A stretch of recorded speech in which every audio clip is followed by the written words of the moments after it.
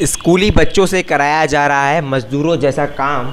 ये मामला जिला बिजनौर के गढ़ी ब्लॉक अंतर्गत ग्राम नवाबपुरा में प्राथमिक विद्यालय नवाबपुरा में स्कूल में पढ़ने वाले बच्चों से मजदूर की तरह कार्य कराया जाता है। काम छोटे छोटे बच्चों से स्कूल परिसर में झाड़ू और शौचालयों की सफ़ाई भी कराई जाती है और बच्चों से और भी काम कराए जाते हैं। काम न करने पर अध्यापक द्वारा बच्चों की पिटाई भी की जाती है। इस संबंध में अधिकारियों ने कुछ भी कहने से साफ़ इनकार कर दिया। खुफिया कैमरे में इस तरह बोले, वैश्विक शिक्षा अधिकारी देखिए आपकी टीवी स्क्रीन पर।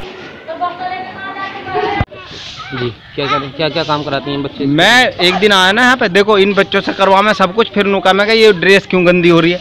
अब जब ये झाड़ू वाड़ू लगाएँगे तो भाई साहब ड्रेस गंदी होगी ना होगी अब मैं आया यहाँ एक दिन तो यहाँ बालक लड़ रहे हैं मैडम जी यहाँ बैठ के आराम से कुर्सी पे धूम में मस्ती ले रही मैंने कहा मैडम जी तुम क्या कर रही हो? ये बालक ऊपर नीचे पड़े कपड़े गंदे कर रहे थोड़ी देर के बाद तुम इन्हें मारोगी।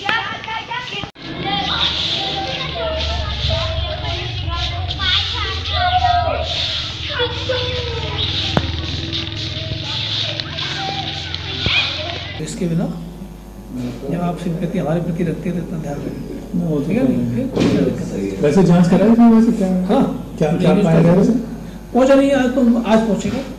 अच्छा। अरे इसी ऊपर पर एक लाख काम होते हैं। ये बात। तो नहीं।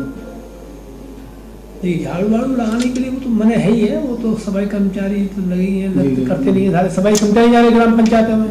उनकी ना निकाल ले तुमने सारे लगाया ड्यूटी के उसके लिए तो नहीं निकालो ना। भाई आप लोग भी देखिए कि शासन के आदेश हैं कि पहले स्कूल की सफ़ाई करेगा वो।